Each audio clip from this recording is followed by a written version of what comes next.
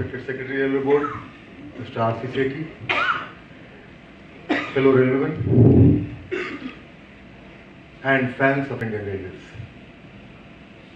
My romance with the Indian Railways started at the Kanpur railway station, I think 1964, when I used to insist upon my dad to take me to the WP class of locomotive which used to haul trains, take me there, and I loved pulling the tugging at the cord of the whistle. And this romance started blossoming in 1993 when they posted me in the Rail Museum. And that is when I learned a lot about the Indian Railways, got involved in the heritage of Indian Railways,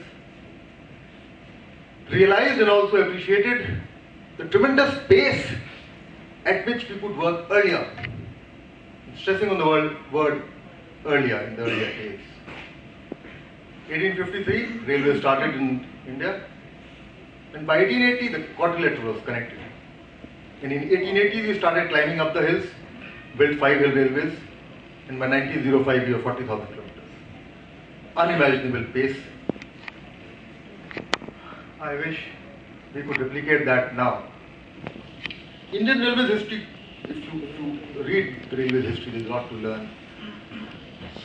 And some of that I picked up during my stint in the Rail Museum. The first major venture which, which we took in the Rail Museum was taking the Fairy Queen out of the shed. Fairy Queen used to stand in a shed in the Rail Museum. It last ran in I think 1907 when it was taken and put on the pedestal somewhere, brought to Chandosi. From Chandosi it came to the Railway Museum and it was set up. And then it stayed here till 1997.